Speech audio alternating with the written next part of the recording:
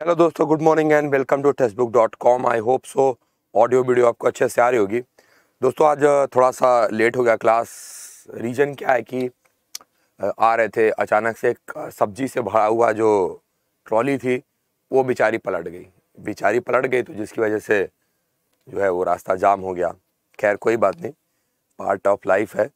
चलेगा इस तो आज हम लोग यहाँ पर क्या करने वाले हैं, जो हमने कल पढ़ा है, उसका रिवीजन करेंगे। सभी लोगों को यहाँ पे जवाब देना है। और उसके बाद से जो आज की हमारी टॉप हेडलाइंस है, उसके ऊपर बात करने वाले हैं। लेकिन बहुत सारे बच्चे जो है, वो यहाँ पे हमारे साथ अभी तक जुड़ नहीं पाए हैं। उनसे मैं बोलना चाहूँगा, अपने वीडियो को जल्दी से शेयर कर दो और उनसे बोल दो क्लास शुरू हो गई है।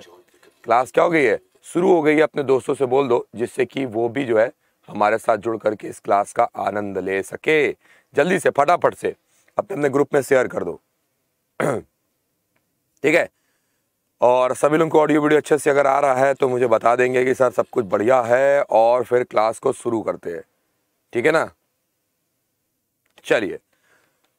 तो सबसे पहले हम बात ले बात कर लेते हैं आज कंप्यूटर जी हमारे क्या बोलना चाहते हैं। कंप्यूटर जी बोल रहे थे कि अगर आप स्वयं हार नहीं मानते तो यकीन मानिए इस दुनिया में आपको कोई हरा नहीं सकता है।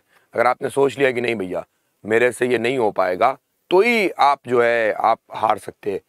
लेकिन जो असफलता है, हार नहीं, मैं उसको असफलता बोलती हूँ, वो हर बार कुछ ना कुछ नया सिखाती है। तो याद रखिएगा, अगर आप स्वयं हार नहीं मानते तो इस दुनिया में कोई आपको हरा नहीं सकता है।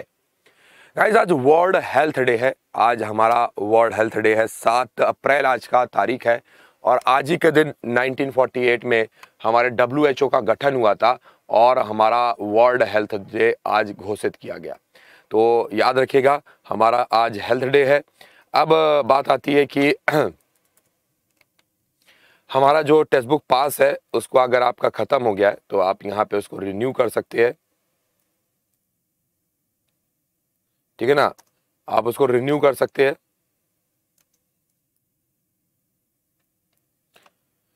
ठीक है तो रिन्यू कर सकते हैं और कूपन कोड लगा सकते हैं P A C P A S S ठीक है ना? यहाँ पे कूपन कोड लगाइए P A C P A S S और आपको ये मिल जाएगा, ठीक है ना? तो आज वर्ल्ड हेल्थ डे और थीम यहाँ पर लिखा हुआ है थीम डिस्कस कर लेते हैं। Our planet our health our planet our health इस बार का थीम है जो हमको याद रखना है। चलिए, आगे बढ़ते हैं अब रिविजन कर लेते हैं जल्दी से। आपको बताना है कि सेंटर ऑफ़ मॉनिटरिंग के अनुसार किस राज्य का बेरोजगारी के क्षेत्र में हमारा जो है वो सबसे कम बेरोजगार में आप उसको देखेंगे। छत्तीसगढ़ है, गुजरात है, पंजाब है या केरला है मतलब सबसे कम बेरोजगारी जो है वो आपको यहाँ पर दिखाई देगी। तो जनता बोले, सर, हमने इसके ऊपर डिस्कस किया था, सिर्फ़ पॉइंट सिक्स परसेंट लोग ही यहाँ के बेरोजगार है, वो हमारा गुजरात नहीं है, पंजाब नहीं है, छत्तीसगढ़ के ऊपर टिक कर देते सही जवाब है, छत्तीसगढ़ यहाँ पे बिल्कुल सही है। अब यहाँ पे ग्रैमी का हमारा एल्बम ऑफ़ द ईयर पूछा जा रहा है, कौन सा है? एल्बम ऑफ़ द ईयर है लीव द डोर ओपन है मून लाइट है वी आर है वुमेन नेक्स्ट डोर है, क्या होना चाहिए? हमारा एल्बम ऑफ़ द ईयर जनता बोली है, sir album of the year हमारा इस साल का है। वो कौन सा है? वो हमारा वी आर है, ठीक है ना? अगला क्वेश्चन है अ कलरफुल वर्ल्ड के लिए बेस्ट चिल्ड्रन म्यूज़िक एल्बम का पुरस्कार किसको दिया गया है? किरण आलूवालिया को है, फागुनी सा को है, आशा पाथुली को है या रॉबर्ट फ्लैक को है? जनता बोलेगी, सर, सही जवाब होना चाहिए। वी, हमारे वी आर को बेस्ट अगर एल्बम का अवार्ड मिला हुआ है तो बेस्ट चाइल्ड म्यूज़िक का अवार्ड मिला है एक कलरफुल वर्ड और इसको गाया है फागुनी साह ने. अगला क्वेश्चन है विक्टर ऑर्बन जो है, ये कौन से देश के लगातार चौथे बार हमारे प्रधानमंत्री बने हैं? हंगरी है, रोमानिया है, पोलैंड है, जमैका है। कहाँ के होना चाहिए? जनता बोले, सर वुडा पेस्ट जहाँ की कैपिटल है। क्या है?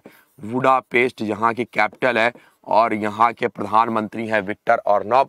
विक्टर ऑर्नॉब यहाँ पे हंगरी के प्रधानमंत्री बने हैं। बिल्कुल सही जवाब है। अगला क्वेश्चन है, लॉरेंस सेन टर्बो ने हमारे ग्रीन हाइड्रोजन को विकसित करने के लिए शॉर्ट टर्म जो सीट है, उसमें किस कंपनी के साथ जो है, वो टाई अप किया हुआ है। भारत पेट्रोलियम है एनटीपीसी है ओएनजीसी है या इंडियन ऑयल कॉरपोरेशन है। मैंने बताया था कि 11 महारत्ना कंपनियाँ हैं, उनमें से एक महारत्ना कंपनी ने इनके साथ टाई अप किया हुआ है। जनता क्या बोल रही है? सर, जनता बोल रही है, सर, इसका सही उत्तर होना चाहिए। इंडियन ऑयल कॉरपोरेशन यहाँ पर चार नंबर जितने जनता बोल रही है, जवाब उनका सही है। इनमें से किस आईआईटी ने इनमें से कौन सी आईआईटी है जिसने रेनाल्ट और निशान के साथ मिल करके R N T B C I के एक समझौते पे साइन किया हुआ है? आईटी मद्रास है आईटी कानपुर है, खड़गपुर है या आईटी रुड़की है? कि इनमें से कौन सी आईआईटी है जिसने हमारे एक्सीडेंट को लेकर के ये हैकथॉन की शुरुआत की है? यहाँ जनता बोली है सर सही जवाब होना चाहिए? आईआईटी मद्रास। आईआईटी मद्रास जितने बच्चे बोल रहे हैं, उनका जवाब बिल्कुल सही होता दिख रहा है। अगला क्वेश्चन आपको बताना है, chief of army staff M M Naravane जो है वो तीन दिवसीय यात्रा पर कौन से देश में गए? मलेशिया, सिंगापुर, फिलीपींस या म्यांमार? क्या होना चाहिए? तीन दिवसीय यात्रा पर कौन से देश में गए हैं? यहाँ पर जनता बोलेगी, सर, सही उत्तर होना चाहिए। मेरे को भी लग रहा है इसका सही जवाब है। जिसकी राजधानी है हमारी क्या? है? सिंगापुर सिटी, जो इसका नाम है, वही इसकी राजधानी भी है। Singapore is right answer. Singapore यहाँ पे सही उत्तर है। यहाँ पे सिक्स रेयर, रेफरेंस मटेरियल की खोज करने का जो श्रेय है, या उसको लेकर के आने का जो श्रेय है वो किसको, कौन से हमारे मिनिस्टर को जाता है? पीयूष गोयल है, नितिन गडकरी है, अनुराग सिंह ठाकुर है या हरदीप सिंह पुरी जी हैं? यहाँ पे जनता बोलेगी, सर, हमारे देश के इंफॉर्मेशन एंड ब्रॉडकास्टिंग मिनिस्टर जिनका नाम अनुराग ठाकुर जी है, यहाँ पे सही जवाब हो जाएगा। इंडियन कोस्ट गार्ड ने C four thirty six improve surveillance coast line जो है, वो कहाँ पर कहाँ पर शुरू की है? कौन सा राज्य है? पुंडीचेरी के साथ, उड़ीसा, आंध्र प्रदेश, अंडमान, निकोबार, तमिलनाडु। यहाँ पे जनता बोलेगी सही जवाब होना चाहिए। तमिलनाडु जो है, यहाँ पर सही जवाब हो जाएगा। तो तमिलनाडु इज़ राइट आंसर तीन अप्रैल को आयोजित होने वाली आईसीसीआई महिला विश्व कप जो है, वो कौन से देश ने जीता है? इंग्लैंड, पाकिस्तान, इंडिया या ऑस्ट्रेलिया? हमारा जो आईसीसी महिला ट्रॉफी है, वो किस देश ने जीता है? तो यहाँ पे जनता बोलेगी, सर, सातवीं बार जो आईसीसी की ट्रॉफी है, उसको उठाने का जो श्रेय जाता है, वो ऑस्ट्रेलिया को जाता है। जितने लोग यहाँ पर ऑस्ट्रेलिया बोल रहे हैं जवाब बिल्कुल सही है, Australia is right answer Khelo India athlete का जो हमारा आउटलेट है, उसको कौन सी हमारे एसोसिएशन ने जारी किया हुआ है? एथलीट फेडरेशन ऑफ़ इंडिया है स्पोर्ट अथॉरिटी ऑफ़ इंडिया है ऑल इंडिया फुटबॉल फेडरेशन है, या एरो क्लब ऑफ़ इंडिया है। बहुत बढ़िया, जनता यहाँ पे जवाब दे रही है कि सर सही उत्तर होना चाहिए। हमारे यहाँ का जो स्पोर्ट्स अथॉरिटी ऑफ़ इंडिया है, जिसको हम लोग एस एस आई बोलते हैं एस आई बोलते हैं वो हमारा इसके लिए दे रहा है। आपको बताना है कि इनमें से हमारे किस कमेटी ने आ, किस देश के साथ एक ट्रेड कमेटी के गठन किया गया जिससे कि व्यापार में समझौता किया जा सके? ऑस्ट्रेलिया रसिया सऊदी अरबिया या जापान? किसके साथ ये हमारे कमेटी ने गठन किया हुआ है? जनता बोलेगी सर ऑस्ट्रेलिया। हम सब सुन रहे हैं हम सब समझ भी रहे हैं लेकिन कभी कभी कुछ चीज़ों का रिस्पॉन्स नहीं देना चाहिए। Australia is right answer. अगला क्वेश्चन है, यहाँ पे आपको बताना है कि set for monitoring India economy द्वारा जारी किए गए नवीनतम आंकड़ों के अनुसार हमारा बेरोजगारी दर में, ये तो हम लोग कर चुके भाई।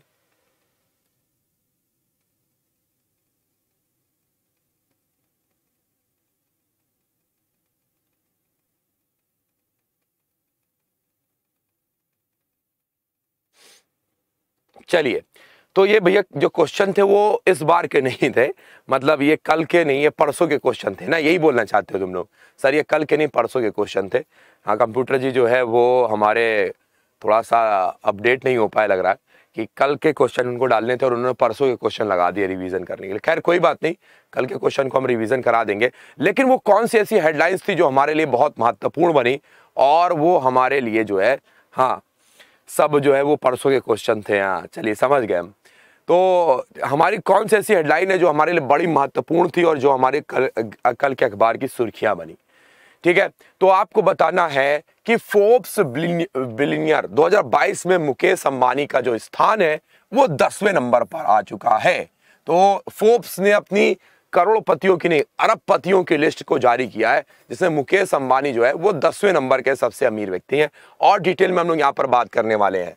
I I T Delhi to collaborate the on road design on safety work हमारे यहाँ पर आर आई टीज ने एक लीडिंग इंजीनियरिंग जो कंसल्टेंसी है, उसने आई आई टी दिल्ली के साथ मिल करके रोड को कैसे डिज़ाइन करना है, इस प्रोजेक्ट की शुरुआत की है।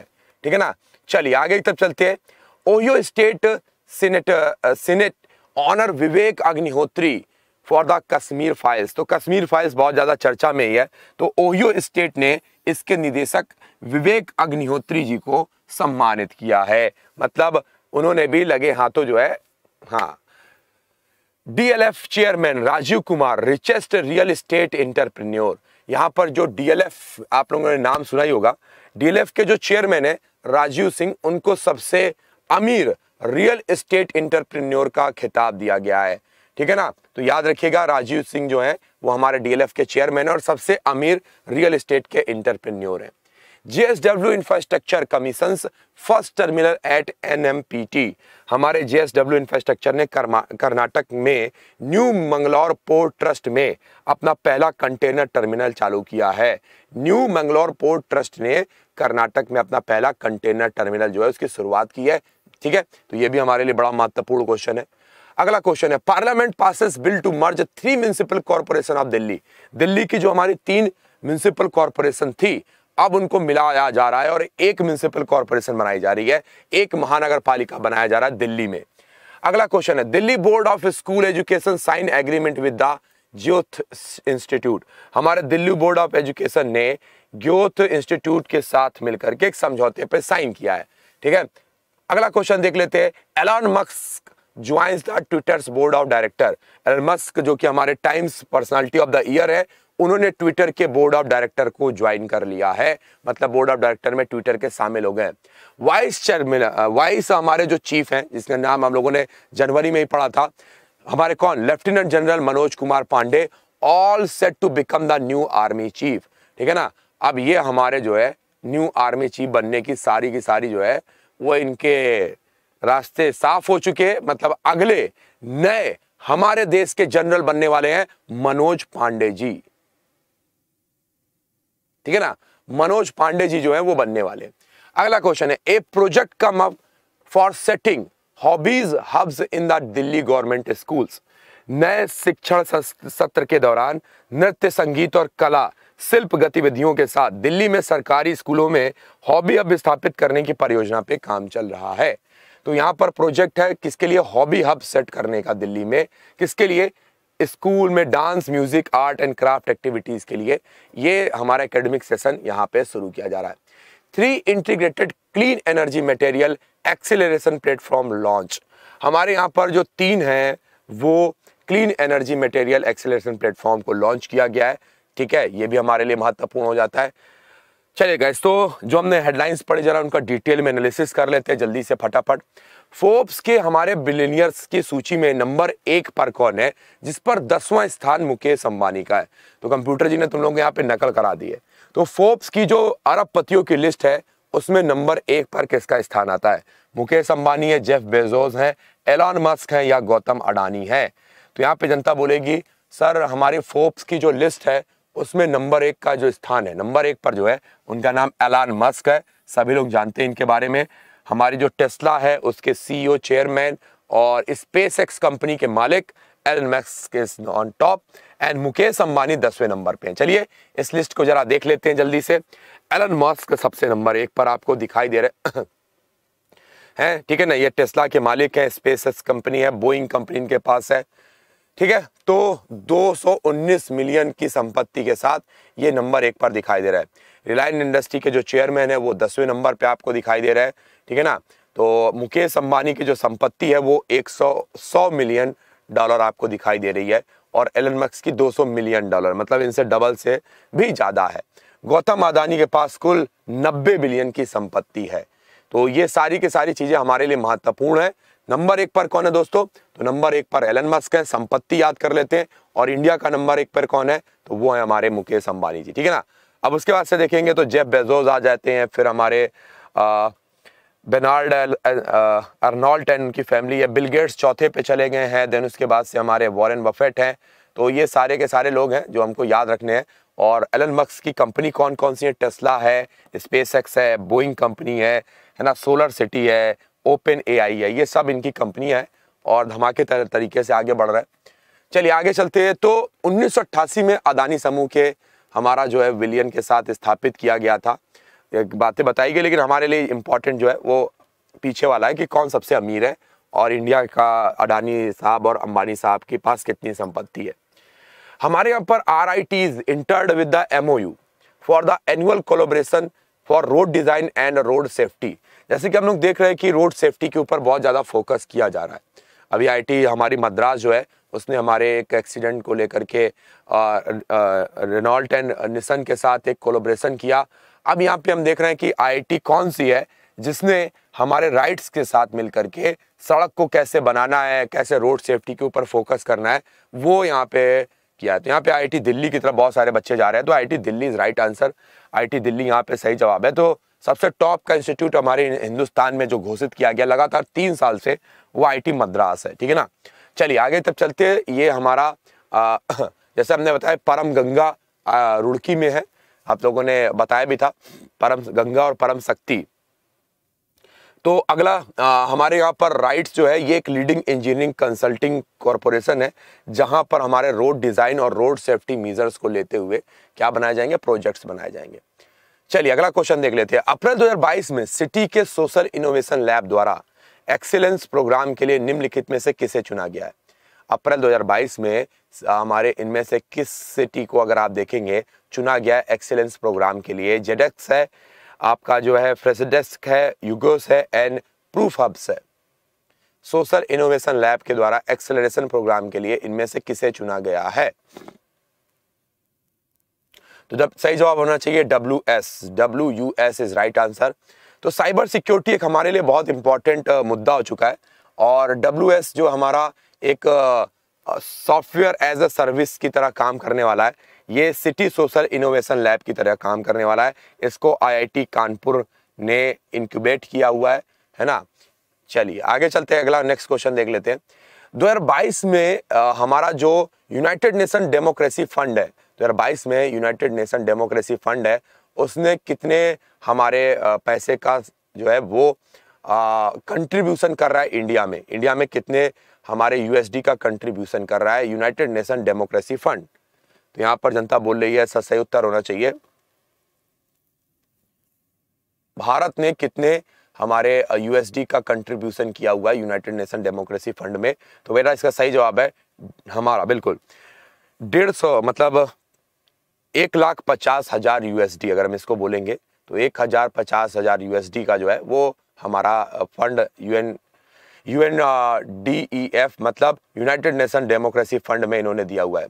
ठीक है ना? तो यूनाइटेड नेशन इंडिया की रैंक जो है, वो नाइन्टी थर्ड है इन लिबरल डेमोक्रेसी इंडेक्स में। ठीक है? चलिए, आगे तब चलते हैं। अगला क्वेश्चन क्या आ जाता है हमारे पास? अप्रैल 2022 में ओहियो स्टेट के सीनेट ने किस फ़िल्म के हमारे डायरेक्टर को एक जो है सर्टिफिकेट देकर के सम्मानित किया है? प्रकाश झा है, एस एस राजा मौली हैं, विवेक अग्निहोत्री हैं, अनुराग कश्यप है। तो बेटा, हर जगह आजकल इसी फ़िल्म के चर्चे हैं। आप लोगों देख लिए होंगे हर जगह पे लोग जो है ये फ़िल्म देखने के लिए जा रहे हैं। आ, एक होता है ना कि माउथ पब्लिसिटी होती है लोग उसके बारे में बताते हैं आ, लोग देखने के लिए जाते हैं कई लोग इसको अपने कम्युनिटी से जोड़ करके देखने के लिए जाते हैं। तो ये सारी चीज़ें लेकिन फ़ायदा जो है ओवरऑल डायरेक्टर साहब को बहुत ज़्यादा हो रहा है। तो विवेक अग्निहोत्री यहाँ पर जितने बच्चे बोल रहे हैं जवाब उनका सही है। तो विवेक अग्निहोत्री ओहियो स्टेट के सीनेट ने इनकी फ़िल्म को सम्मानित किया है। ठीक है द कश्मीर फाइल्स मुझे लगता है कि इस साल की सबसे ज़्यादा चर्चित फ़िल्म में से एक रहेगी। ठीक है? चलिए, आगे तब चलते हैं। हर साल विकास और शांति के लिए अंतरराष्ट्रीय खेल दिवस कब मनाया जाएगा? सेफ़ तो हमने पढ़ा था day of development and peace for sports celebrated in तीन, चार, पाँच या छ तो जनता यहाँ पे जवाब दे रही है। सर, सही उत्तर होना चाहिए। यहाँ पर 6 April 6 April is right answer 6 April जितने बच्चे बोल रहे हैं उनका जवाब बिल्कुल सही है। ऑप्शन नंबर चार। यहाँ पे अगला क्वेश्चन है Grohe and Hurun India real estate rich list में हमारे सबसे धनी रियल एस्टेट इंटरप्रेन्योर कौन है? सबसे रिचेस्ट इंटरप्रेन्योर है वो। राजेश मल्होत्रा, अनिल अग्रवाल है, राजीव सिंह है, या सुरेश चंद्र सचदेवा है? तो जनता फिर से जवाब देना शुरू कर रही है कि सर, हमारे गेहो और हुरन की रियल इस्टेट लिस्ट के अनुसार डीएलएफ के हमारे करता धरता, जिनका नाम है हमारे राजीव सिंह। राजीव नाम बड़ा फ़ेमस है। राजीव नाम अलका। राजीव नाम हमारे पुरुषों में और अलका नाम महिलाओं में। बड़ा फ़ेमस है। है ना? तो राजीव कुमार डीएलएफ के चेयरमैन है। जिनको आप देखेंगे तो इनकी संपत्ति है इकसठ हज़ार दो सौ बीस करोड़ और 68 परसेंट का चेंजमेंट आया है। इनका घर जो है वो नई दिल्ली में इसके बाद से आते हैं मंगल, मंगला एंड लोढ़ा फैमिली ये भी हमारे घर रियल इस्टेट के ही बिज़नेस से आते हैं। फिर चंद्रू है, फिर जी आपके जितेंद्रा, वीरवानी है, विकास ओबरा ओबराय तो बाकी के लोग आ जाते हैं। लेकिन नंबर एक पर कौन है? डीएलएफ समूह है, जो कि हमारे नई दिल्ली में इनका रेजिडेंस है और सबसे अमीर में आप इनको बोल सकते हैं। आपको बताना है which of the following commission its first container terminal in new Mangalore port अपना पहला कंटेनर टर्मिनल चालू करने वाला इनमें से कंपनी कौन सी है? पहला कंटेनर टर्मिनल है। लॉरेंसन टर्बो है रिफाइंड कंस्ट्रक्शन है जीएसडब्ल्यू इंफ्रास्ट्रक्चर है, या आपका विटनबर्ग कंस्ट्रक्शन है। कौन है भाई यहाँ पे? सही जवाब। बहुत बढ़िया। सभी बच्चे यहाँ पर बोल रहे हैं कि, सर, हमारे न्यू मंगलौर पोर्ट अगर देखेंगे तो हमारा जो है वो अरब सागर के किनारे आपको देखने को मिलेगा कर्नाटक में। यहाँ पर जीएसडब्ल्यू ने अपना पहला कंटेनर पोर्ट की शुरुआत की है। कंटेनर हमारा जो टर्मिनल है, उसकी शुरुआत की है और ये हमारे लिए काफ़ी इंपॉर्टेंट जाता है। हमारे पूरे इंडिया का सबसे बड़ा कंटेनर टर्मिनल जो है, ये आपको दिखाई देगा कहाँ पर? ये है आपका गुजरात में। ठीक है ना? चलिए तो यहाँ पर जीएसडब्ल्यू आपको दिखाई देगा गुजरात के कहाँ पर?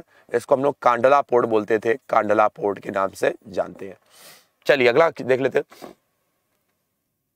चलिए तो कर्नाटक के नेशनल पार्क हम लोगों ने याद भी किए थे। नागरहोल नेशनल पार्क है, अंसी नेशनल पार्क है, बानेर घट्टा है केंद्रमुख नेशनल पार्क और बांदेपुर। ये पाँच नेशनल पार्क हैं जो आप याद करना आपके लिए ज़रूरी है है ना? कई बार मैंने बताया है कि नागर ने अंसी को कर्नाटक में बनेर घट्टा के केंद्र मुख पर बंदी बनाकर रखा। नागर होल, अंसी बनेर घट्टा केंद्र मुख एंड बांदीपुर। अब पूरे इंडिया के सबसे ज़्यादा टाइगर्स में दूसरे नंबर पे यहीं पे आपको देखने को मिलेंगे, ठीक है ना? पहले नंबर पे एमपी है, दूसरे नंबर पे कर्नाटका है। पहले इसको टाइगर स्टेट बोलते थे, लेकिन दो साल पहले एमपी ने वापस से उसका तमगा हासिल कर लिया। तो जीएसडब्ल्यू इंफ्रास्ट्रक्चर ने हमारे एक टर्मिनल की शुरुआत की है, कहाँ पर? मंगलोर में। इस टर्मिनल की कार्गो क्षमता है 2.4 लाख टीईयू ठीक? चलिए, आगे तब बात कर लेते अगला क्वेश्चन है। NTPC has linked a pact with the filling the blanks to blend green hydrogen with piped natural gas PNG में। पीएनजी और एनटीपीसी के बीच में हमारे किस कंपनी ने जो वो टाई अप किया है, जिससे वो ग्रीन हाइड्रोजन और पाइप्ड नेचुरल गैस का संचालन करेंगे। गुजरात है, इंद्रप्रस्थ गैस है यूपीएल है या हमारा गेल इंडिया लिमिटेड है। गुजरात गैस लिमिटेड है, इंद्रप्रस्थ गैस लिमिटेड है यूपीएल गैसोकॉन्स प्राइवेट लिमिटेड है या गेल इंडिया प्राइवेट लिमिटेड है। सभी बच्चे जवाब दे रहे हैं यहाँ पे कि सर इसका सही उत्तर होना चाहिए। हमारा Gujarat gas limited, Gujarat gas limited जितने बच्चे बोल रहे हैं, जवाब उनका सही है। ठीक है ना? तो गुजरात गैस लिमिटेड यहाँ पे अगर आप देखेंगे तो बिल्कुल सही जवाब है। तो नेचुरल गैस का जो अगर मेन कंपोनेंट देखेंगे तो सबसे ज़्यादा अगर देखेंगे, लगभग 90 परसेंट से ज़्यादा जो परसेंटेज होता है, वो मेथेन का होता है। उसके अलावा आपको एथेन देखने को मिलेगी, फिर प्रोपेन ब्यूटेन एंड बाकी के हमारे होते हैं। लेकिन 90 परसेंट से ज़्यादा नेचुरल गैस में मेथेन होती है। मेथेन को हम लोग मार्स गैस भी बोलते हैं पैडी गैस गैस भी बोलते हैं। और दलदल से निकलने वाली गैस भी बोलते हैं methane gas C H four इसका फॉर्मूला होता है, कई बार हमसे पूछा जाता है। ठीक है ना? तो एनटीपीसी ने गुजरात गैस लिमिटेड के साथ एक समझौता किया है, जो गुजरात गैस लिमिटेड द्वारा आपूर्ति की जाने वाली पीएनजी और हाइड्रोजन, ग्रीन हाइड्रोजन को मिला करके एक फ्यूल बनाएगा, जो कि एक मतलब एक अच्छी तरीके से खाना पकाने में इस्तेमाल होगा और हम लोग आत्मनिर्भर होने की तरफ़ आगे बढ़ेंगे। जो हमारी डिपेंडेंसी है अरब कंट्रीज़ पे, वो थोड़ी सी कम करने का यहाँ पे योजनाएँ बनाई जा रही हैं। ठीक है? चलिए एनटीपीसी की स्थापना बेटा सात नवंबर 1975 में हुई थी और इसका हेडक्वार्टर कहाँ पे है? हमारे दिल्ली में। अगला क्वेश्चन देख लेते हैं। पाँच अप्रैल को केंद्रीय वाणिज्य मंत्री और उद्योग मंत्री पीयूष गोयल ने किस देश के तीन दिवसीय यात्रा पर गए? पाँच अप्रैल को हमारे यूनियन मिनिस्टर और कॉमर्स मिनिस्टर पीयूष गोयल जी जो हैं, वो किस हमारे देश की यात्रा पर तीन दिन के लिए गए जॉर्डन है, इजिप्ट है, जापान है या ऑस्ट्रेलिया है? तो बताइए क्या होना चाहिए? तो जनता बोल रही है, सर, हमारे देश के जो कॉमर्शियल मिनिस्टर है, पाँच अप्रैल को जिस देश की यात्रा पे गए हैं, उसका नाम है ऑस्ट्रेलिया। तो ऑस्ट्रेलिया में फ्री ट्रेड कमेटी बनाई जा रही है, उसी के निरीक्षण के लिए ये हमारे ऑस्ट्रेलिया गए पीयूष गोयल जी, ठीक है ना? तो ये हमारे देश के कॉमर्शियल मिनिस्टर है। चलिए, आइए बात कर लेते हैं। तो सबसे पहले हमारे पास जो केंद्रीय वाणिज्य मंत्री हैं और उद्योग मामले के मंत्री हैं, खाद्य और सार्वजनिक वितरण मतलब हमारे फ़ूड सप्लाई मिनिस्टर हैं, वो पाँच अप्रैल को ऑस्ट्रेलिया की तीन दिवसीय यात्रा से दिल्ली को रवाना हो गए। उन्होंने ऑस्ट्रेलिया के प्रधानमंत्री के विशेष दूत टोनी अबार्ट के साथ बातचीत भी की। ऑस्ट्रेलिया भारत का सत्रहवा सबसे बड़ा व्यापारिक साझेदार है। सत्रहवें नंबर का ऑस्ट्रेलिया भारत का सबसे बड़ा, क्या साझेदार है? ऑस्ट्रेलिया का, भारत और ऑस्ट्रेलिया का नवा सबसे बड़ा व्यापारिक समझौता जो है वो होने वाला है। भारत ऑस्ट्रेलिया का सत्रह नंबर पे, है ना? भारत, ऑस्ट्रेलिया भारत का सत्रह नंबर पे। लेकिन अगर हम बात करेंगे भारत का ऑस्ट्रेलिया के से संदर्भ में तो नौवे नंबर पे हो जाएगा। तो दोनों चीज़ें याद रखनी है। ऑस्ट्रेलिया भारत का सत्रह नंबर पे और भारत ऑस्ट्रेलिया का नौवे नंबर पे व्यापारिक साझेदार है। खैर, ये तो आपका पूछा नहीं जाएगा। तो हमारा जो ऑस्ट्रेलिया है, उसके आसपास के जो हमारे देश हैं, उन महाद्वीप को अब नया नाम दिया जाता है ओसियाना महाद्वीप। जिसमें हमारे कौन कौन से कंट्री आते हैं? सबसे पहले तो ये दो कंट्रीज़ आते हैं, ऑस्ट्रेलिया। उसके बाद से छोटे छोटे से द्वीप समूह आते हैं। बिल्कुल छोटे छोटे से। जैसे पापा न्यू गिनिया हो गया, फिजी हो गया, समोआ हो गया, पालाऊ हो गया, वनाताऊ हो गया, किराबाती हो गया, टोंगा हो गया, तवल्लू हो गया ये सभी सभी के हमारे छोटे छोटे से बिल्कुल आइलैंड है, बिल्कुल छोटे छोटे से मतलब इनकी आबादी जो है, वो हमारे किसी शहर या कस्बे से भी कम होती है। लेकिन इनको नया देश का तमगा दिया गया है। ओसियाना कंट्रीज़ इनको हम लोग बोलते हैं, ठीक है ना? चलिए, आगे तब चलते हैं। हमारे यहाँ पर जो अप्रैल 2022 में केंद्रीय मंत्री धर्मेंद्र प्रधान जी ने किताब का जो है, वो विमोचन किया है, जिसका नाम है बिरसा मुंडा जनजाति नायक, ठीक है? बिरसा मुंडा और उसके बाद से लिखा है ट्राइबल हमारे हीरो या जनजाति नायक। इसको किसने लिखा हुआ? मीना नायर ने लिखा है, हिम्मत सिंह शेखावत ने लिखा हुआ है, डॉक्टर श्री राम चौलिया ने लिखा हुआ है, या आलोक चक्रवाल ने लिखा हुआ है। तो यहाँ पर अगर हमने देखा है कि हमारे पास जो क्रंच टाइम है, आप लोगों ने बताया कि श्री राम चौलिया जी ने लिखा हुआ है। लेकिन अगर इसकी बात करेंगे तो मतलब श्री राम चौलिया पढ़ रहे हैं तो वही टिक करेंगे। तो यहाँ पे जो सही जवाब होना चाहिए आलोक चक्रवाल।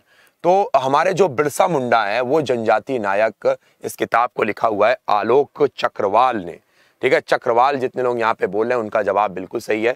तो बिरसा मुंडा एक जनजाति नायक, ये प्रोफेसर अशोक, आलोक चक्रवाल ने लिख करके यहाँ पर एक बहुत इंपॉर्टेंट काम किया हुआ है और ये हमारे लिए काफ़ी इंपॉर्टेंट भी हो जाते हैं।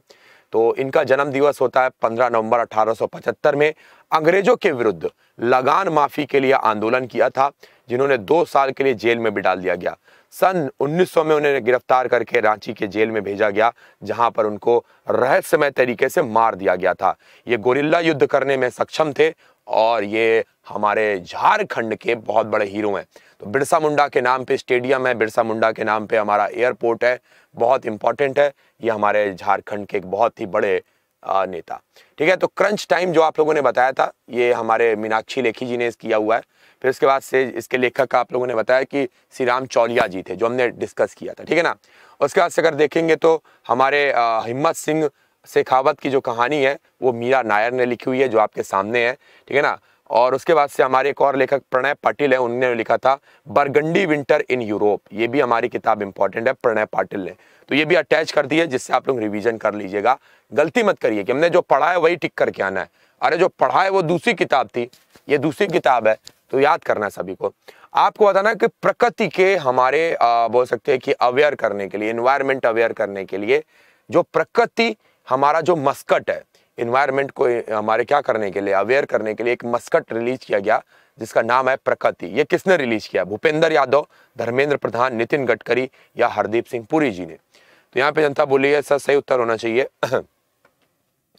क्या होना चाहिए सही उत्तर? तो जनता बोले सर इसका सही उत्तर होना चाहिए। भूपेंद्र यादव, भैया भूपेंद्र यादव होना चाहिए। ठीक है तो प्रकृति जो है, उसको ये आपको दिख रहा होगा, ये मस्कट यहाँ पे, ये प्रकृति है और ये लॉन्च किया हुआ है हमारे भूपेंद्र यादव जी ने। देखिए बटन दबा के शुरू कर रहे हैं। अब दोस्तों, अगर बात करें तो हमें अवेयर रहना बहुत ज़रूरी है इन्वायरमेंट को लेकर के। अब ये छोटी छोटी सी बातें हैं, जो हमको बड़ी बड़ी ही शिद्दत से उसको फॉलो करना चाहिए, जो हम लोग फॉलो नहीं करते हैं। अपने साथ एक थैला लेकर के जाइए जैसे कि प्लास्टिक जो है, वो हमारी प्रकृति के लिए सबसे खराब है। अगर आप प्लास्टिक का इस्तेमाल कर रहे हैं तो हमारी प्रगति के लिए बहुत खराब है। तो याद रखिएगा, हमारे दो फरवरी को वर्ल्ड वेटलैंड डे सेलिब्रेट होता है। हम अगर देखेंगे, तीन मार्च को world wildlife day celebrate होता है। अगर हम 21 मार्च को देखेंगे तो वर्ल्ड फॉरेस्ट्री डे सेलिब्रेट होता है। अगर हम 22 मार्च को देखेंगे तो वर्ल्ड वाटर डे होता है। अब आगे ये डेज़ आने वाले हैं। है ना? 22 अप्रैल को हमारा वर्ल्ड अर्थ डे होता है। 22 मई को इंटरनेशनल डे ऑफ़ बायोडाइवर्सिटी होता है और फाइनली 5 जून को आ जाता है वर्ल्ड इन्वायरमेंट डे। तो ये आपको रटा होना चाहिए और इनके वो अब आपके लिए होमवर्क में यहाँ पे, ये आपको लिखना कहीं नहीं है। इनकी थीम याद कर लेना, ठीक है ना? ये एग्ज़ाम में आने वाली आई होप सो आपका जीए तभी नेक्स्ट लेवल पे जाएगा जब आप थोड़ी सी मेहनत करेंगे। तो हमारे यहाँ पर इन्वायरमेंट एंड हमारे forest climate change minister Bhupender Yadav ji ने मस्कट प्रकृति को, जिसको आप लोगों ने देखा है, पाँच अप्रैल को लॉन्च किया हुआ है, जो कि हमारे एक इनोवेट करता है कि हमें पोल्यूशन को कंट्रोल करना चाहिए प्लास्टिक को इस्तेमाल कम करना चाहिए, हमको इको फ्रेंडली चीज़ें इस्तेमाल करनी चाहिए, ये सारी चीज़ें हमें यहाँ पर बताती है, ठीक है ना? चलिए तो आगे चलते, अगला क्वेश्चन हमारे पास आता है कि Indian parliament pass the accountancy bill in April 2022 which of the following act has not been amended इनमें से हमारा यहाँ पर जो है अकाउंटेंसी बिल को लॉन्च किया गया है। इसमें से कौन सा संशोधन नहीं किया गया है? किसमें कोई परिवर्तन नहीं है? चार्टेड एक्ट उन्नीस cost and work account act 1959 company secretariat act 1980 या ट्रेड यूनियन एक्ट 1926 इसमें से किसमें कोई भी छेड़छाड़ नहीं की गई है?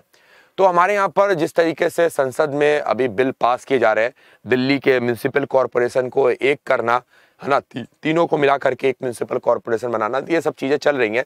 तो इसी तरीके से हमारा इसका तो जवाब ही नहीं बताया कौन सा नहीं है। तो गैज यहाँ पे जिसके साथ छेड़छाड़ नहीं की गई है वो हमारा कौन सा? कंपनी सेक्रेटरीट 1980 1980 के साथ छेड़छाड़ नहीं की गई है। और इसका जवाब यहाँ पे कंप्यूटर जी ने लिखा नहीं है। अब यहाँ पे देख लेते हमारे करंट अफेयर्स का क्वेश्चन है hobbies hub government school in April 2022 किसने परियोजना शुरू की है? हॉबीज हब छत्तीसगढ़, पंजाब, राजस्थान या दिल्ली। हॉबीज हब जो परियोजना है गवर्नमेंट स्कूल की, वो किस राज्य ने शुरू किया है? तो देखिए, यहाँ पे हॉबी का मतलब क्या होता है? हॉबी का मतलब होता है आपकी आदतें। और आपकी जो आदतें हैं बच्चों में, जैसे कि उनकी ड्राइंग करना, डांसिंग करना, स्पोर्ट्स में डालना, ये बहुत ज़रूरी है, जिससे कि एक उनका दिमाग एक सही सोच की तरफ़, एक पॉजिटिव अप्रोच की तरफ़ जाए। और इसकी शुरुआत करने वाला जो स्टेट है, वो है दिल्ली। अरविंद केजरीवाल ने इसकी शुरुआत की है हॉबीज हब जहाँ पर आप अलग अलग तरीके की हॉबीज सीख सकते हैं खेल सकते हैं इंजॉय कर सकते हैं। अब दिल्ली में हमारे आ, कई सारे नेताओं की भूमि है जहाँ पर उनको अंतिम विदाई दी गई थी। जैसे कि हमारे एग्ज़ाम में पूछा जाता है राजघाट महात्मा गांधी की सभी लोग जानते हैं। विजय घाट जिनकी समाधि स्थल है वो है हमारे लाल बहादुर शास्त्री है ना? शांति पुरुष इनको बोलते हैं। शक्ति स्थल सफदरजंग रोड, इंदिरा गांधी जी हैं। वीरभूमि, राजीव गांधी, शांतिवन, जवाहरलाल नेहरू जी, अभय घाट, मुरारजी देसाई। उसके बाद से अगर देखेंगे, महा हमारे प्रयाण घाट, ये हमारे डॉक्टर राजेंद्र प्रसाद जी हैं। ठीक है ना? चैत्र भूमि चैत्र भूमि बेटा किसका है? डॉक्टर भीमराव अंबेडकर, बाबा साहब का चैत्रा भूमि है। एंड उसके बाद से आते स्मृति, राष्ट्रीय स्मृति या अटल घाट, ये हमारे अटल बिहारी वाजपेयी जी की है। तो स्मृति, राष्ट्रीय स्मृति ये हमारे लिए बड़ा महत्वपूर्ण है। एक बार आप लोगों इसको ज़रूर याद करिएगा, क्योंकि पूछा गया है कि भैया वीर भूमि किसकी समाधि स्थल है? और आपको ऑप्शन देकर कंफ्यूज कर देंगे। है ना? चैत्रा भूमि में कौन से हमारे जो है वो नेता जो है उनका समाधि स्थल है? तो आपको याद होना चाहिए शांति शांतिवन अभय घाट सब हमारे लिए महत्वपूर्ण है, इसलिए यहाँ पर हम आपको ये दिखा दे रहे हैं। ठीक है ना? चलिए, आगे चलते हैं। अब आगे हमारे पास आता है। तो ये हमारा जो प्रोग्राम है, क्या है? शैक्षणिक संस्थान के साथ उनको नए नए प्रोजेक्ट पे काम कराना क्राफ्ट उनको सिखाना, उनको नई नई हॉबीज पे डालना, ये अब हमारे दिल्ली जो बोर्ड है, वो ये करने वाला है। और ये काफ़ी एक बढ़िया चीज़ होती है। मुझे लगता है कि एजुकेशन के साथ साथ स्किल को भी डेवलप करना बहुत ज़रूरी है कि भैया, हमारे अंदर कोई ना कोई ऐसी स्किल ज़रूर होनी चाहिए, जिससे कि हम अपने जीवन में कोई ना कोई जीविकापार्जन कर सके। है ना? जीविकापार्जन का मतलब है लिविंग रहने के लिए जो चीज़ें कमा सके। और उसके लिए क्राफ्ट का आना बहुत ज़रूरी है। सबके अंदर कोई ना कोई स्किल होना बहुत ज़रूरी होता है। तो सीखिए, जितना जो भी आपको सीखने को मिलता है, उसको ज़रूर आप अडॉप्ट करिए। और ये बहुत अच्छी हमारे लिए जो है, वो पहल है। विष्णु प्रिया पूछ रहे हैं, सर, अर्पिता, आपकी हॉबी क्या है? अच्छा भैया, पूछो, आपस में पूछ लो, हॉबी क्या है? चलिए तो इसके लिए हमारे दिल्ली सरकार जो है, वो काम कर रही है। अप्रैल में हमारे नए जनरल कौन बनते हुए दिखाई दे रहे हैं। हमारे जो एम एम नरावने जी हैं, इनका कार्यकाल खत्म होता हुआ दिख रहा है। लेकिन अब नए हमारे जनरल मतलब आर्मी के प्रमुख कौन है? एस एस महल हैं, उपेंद्र द्विवेदी हैं, राणा प्रताप कलिता है या हमारे मनोज पांडे हैं। तो दोस्तों, अभी हम लोगों ने देखा था, हम लोगों ने यहाँ पर देखा, ये देखो, फिर आ गया लड़का। तुमको हम क्या करें? तुम्हारे संग बाबू हम क्या करें? तुम्हारा तुमको कल हम जो है सोच, एक दिन में सुधर जाएगा, लेकिन देखो फिर से पढ़ाई कर लो। तो एस एस महल के ऊपर हम लोगों ने बात की थी बेटा अभी दो दिन पहले, जो हमारा डिफेंस ट्रेनिंग स्कूल शिमला में उसके कमांडेंट बनाए गए थे एस एस महल तो अभी इनका नाम हटा देते हैं, ये नहीं हो सकते। अब हमारे जो सेना के वाइस चीफ हैं, जिनको हम लोग मनोज पांडे जी के नाम से जानते हैं, ये अब हमारे क्या बनने वाले? ये अब हमारे बनने वाले हैं चीफ ऑफ़ आर्मी स्टाफ, हमारे मनोज पांडे जी तो आप इनको यहाँ पर टिक कर दीजिए, नंबर घर लेके जाएँगे आप लोग। नंबर टिक करिए सभी लोग। चीफ ऑफ़ आर्मी स्टाफ बनने वाले हैं ये हमारे मनोज पांडे जी। देखिए, बड़े खुश है पांडे जी, है ना? चलिए भाई, इनको बधाई देते अब देखिए, यहाँ पे हमारा जो आर्मी डे होता है, वो कब मनाया जाता है? वो पंद्रह जनवरी को मनाया जाता है। अब यहाँ पे आप देखेंगे, हमारे बताई गई है फ़ील्ड मार्शल में अशोक स्तंभ होता है शॉर्ट्स होती हैं और स्टार होते हैं। तो ये कुछ आपके सिंबल होते हैं। डिफेंस की अगर आप तैयारी कर रहे हैं तो आपको ये पता होना चाहिए, ऑफिशियल रैंक होती हैं। कमीशन रैंक होती है। लेफ्टिनेंट से शुरू होती है, डबल स्टार, फिर ट्रिपल स्टार, फिर आ जाता है अशोक स्तंभ, फिर अशोक स्तंभ के साथ एक स्टार, फिर अशोक स्तंभ के साथ दो स्टार, अशोक स्तंभ के साथ तीन स्टार। तो ये कुछ हमारे स्वाड आ जाता है स्टार के साथ, फिर स्वाड अशोक स्तंभ के साथ आता है स्वाड स्टार और अशोक स्तंभ आ जाता है और फिर आ जाता है फ़ील्ड मार्शल। तो बड़ी इंपॉर्टेंट है, बहुत सारे लोग इसके बारे में जानते हैं। चलिए तो चीफ ऑफ़ डिफेंस स्टाफ पद के लिए जनरल नरवणे जी प्रबल दावेदार हैं और हमारे जो सेनाध्यक्ष बनने वाले हैं, सल थल सेनाध्यक्ष मतलब जनरल जो बनने वाले हैं, वो कौन है? पांडे जी। तो पांडे जी हमारे देश के जनरल बनने वाले हैं तो इनको एक बार सभी लोग बधाई दे दीजिए पांडे जी को। तो general Manoj Pande chief of army staff नहीं चीफ ऑफ़ हमारे जो थल सेनाध्यक्ष है, वो बनने वाले जनरल बनने वाले ठीक है ना भैया? चलिए।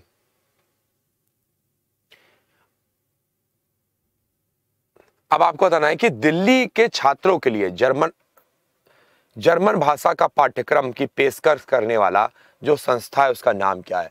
Which institute has sign the agreement with Delhi government for offering German language course for the students तो यहाँ पे आपके सामने लिखे हुए हैं नाम, आप बताइए क्या होना चाहिए? जनता बोले, सर सही उत्तर होना चाहिए, मेरे को भी लग रहा है। ग्रोथ इंस्टीट्यूट ने जर्मन भाषा सिखाने के लिए दिल्ली के साथ टाई टाई अप किया है। अब देखिए यहाँ पर हमारे जो प्रमुख यूनेस्को हेरिटेज साइट है वो बताई जा रही हैं। जैसे कि कुतुब मीनार दिल्ली में है, रानी की बाव जो आपको देखने को मिलेगा गुजरात में। तो इसी तरीके से ये सारे के सारे हैं। टोटल 40 साइट्स हैं, टोटल 40 हेरिटेज साइट है हिंदुस्तान में। आपको वो पता होना चाहिए कि वो भैया कहाँ पर स्थित है और वो कब यूनेस्को हेरिटेज साइट में घोषित की गई उसको बनाने वाले राजा कौन से? वंश के थे, वो राजा कौन थे? तो ये आपका मौलिक कर्तव्य है फंडामेंटल ड्यूटी है। अगर आप यहाँ पे एसएससी की रेलवे की, या आप डिफेंस की, या पुलिस की तैयारी कर रहे हो तो ये हमारे जो हेरिटेज साइट है, ये कब बनाई गई? इनको कौन से वंश के राजाओं ने बनाया है? और ये कहाँ पर है? ये तो सबको पता होगा, है ना? और इनके चीफ आर्किटेक्ट भी अगर आप जानते हो तो वो भी आप कर लीजिए, बहुत बढ़िया आपके लिए यहाँ पे हो जाएगा। तो हमारे यहाँ पर जो है तीस स्कूलों में जर्मन भाषा सिखाई जा रही है है ना? जर्मन भाषा सिखाई जा रही है और उसके लिए टाई अप किया है ग्रोथ इंस्टीट्यूट के साथ। देखिए लैंग्वेजेस बहुत इंपॉर्टेंट होती है। हमारे देश में 22 लैंग्वेजेस हैं और सारी की सारी बड़ी शानदार है। चाहे वो हमारी बांग्ला लैंग्वेज हो, चाहे वो मराठी लैंग्वेज हो, गुजराती हो, मलयालम हो, हमारी जो है कन्नड़ हो, तेलुगू हो या भोजपुरी लैंग्वेज हो, है। ये सारी की सारी हमारे लिए बड़ी महत्वपूर्ण है। तो लैंग्वेज आप जितनी ज़्यादा सीखेंगे, आप उतने ज़्यादा लोगों से इंटरेक्ट करने का आपको मौका मिल सकता है। है ना? तो बड़ी इंपॉर्टेंट हो जाती है है ना जुबेर? तो लैंग्वेज आपको सीखनी चाहिए। तो जर्मन लैंग्वेज केजरीवाल जी एक नया पहल लेकर के आ रहे हैं और हमें ये कनेक्ट करने वाले गाइज़ यहाँ पे कुछ होमवर्क है जो आप लोगों को देना है है करना है। लेकिन आगे बढ़ने से मैं आपको बताना चाहता हूँ कि एसएससी का बैच हो या आरआरबी एनटीपीसी का। आरआरबी एनटीपीसी के बैच की हमारे अंतिम डेट चल रही है। ग्यारह तारीख से इनरोल शुरू हो जाएगा क्लासेस उसमें। आप इनरोल कर सकते हो आप कूपन कोड लगाइए। P A N K A J सी किसी भी ये आप सेलेक्ट बैच में लगाइएगा। सी ये आप जैसे ही लगाएँगे, आपको डिस्काउंट मिल जाएगा। कितने का? डिस्काउंट मिल जाएगा आपको मैक्सिमम ठीक है? जैसे कि अगर आप बात करेंगे एनटीपीसी वाले कोर्स की तो चार सौ निन्यानवे वाला कितने मिलेगा? चार सौ में मिलेगा। अगर आप बात करेंगे किसकी? आप बात करेंगे हमारे C H S L foundation batch बेटा ये भी शुरू होने वाला हम देख रहे हैं बच्चे इसमें इनरोल नहीं कर रहे हैं। सी एच एस एल का जो फाउंडेशन क्रैश कोर्स है बेटा वो। सी एच एस एल का क्रैश कोर्स लिखा होगा। ये भी आप यही कूपन कोड लगाइए, सोलह 1600 में मिल जाएगा। और एम टी एस वालों के लिए भी क्रैश कोर्स लेकर के आ रहे हैं। वो भी बड़ा ही ऐसा ही है सस्ता सा है। आप उसको भी इनरोल कर सकते हैं सेम कूपन कोड से। तो गाइज़ मिलते हैं अपनी क्लासेस में। होमवर्क एक बार आप लोग देख लीजिए। ये आपका आईएलओ का हेडक्वार्टर क्या है? मिशन शक्ति हाँ जो हमारी होती है वो कौन से आ, किसके साथ एक्सरसाइज होती है? कुक स्ट्रेट कहाँ पर आपको देखने को मिलेगी? और अरावली माउंटेन का सबसे ऊँचा पीक कौन सा है? ये कुछ बातें जो आपको याद रखनी है एग्ज़ाम में पूछने के काबिल। ठीक है? चलिए।